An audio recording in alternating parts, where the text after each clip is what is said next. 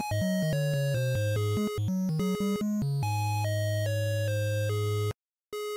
の野郎がふざけんなよバカどうも、あえちゃんです。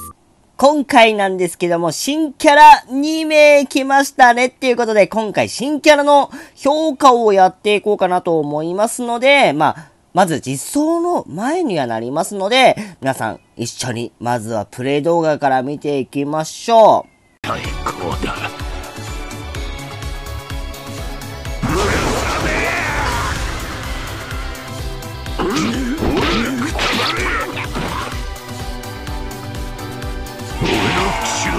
誰にも止められねえ。わくたば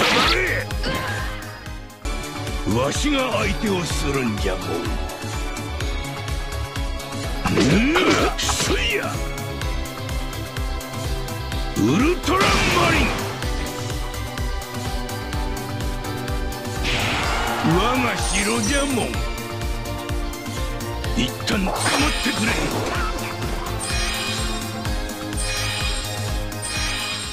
では、評価の方をやっていこうかなと思います。まず、ホーディーからなんですけど、緑のスタイルでゲッターとなっていますね。まあ、通常攻撃はそこまで速くないので、8点となっていますね。まあ、スキルに関しましてなんですが、あのまず、新しくなんか、まあ、薬を飲むと、まあ、最大体力のが、まあ、減って、で、プラス引き換えに、まあ、ES 状態になるみたいなんですけども、ES 状態中はよろけず、状態以上も無効とかあるみたいなので、まあ、この時間がどれだけ長く効果時間があるかによっては、まあ、かなりぶっ壊れになるのではないのかなと思うんですよね。まあ、それでゲッターになっていますので、めちゃめちゃ強いのではないのかなと思います。まあ、あとは特性がどんな感じかによっては、かなり化けるのかなと思います。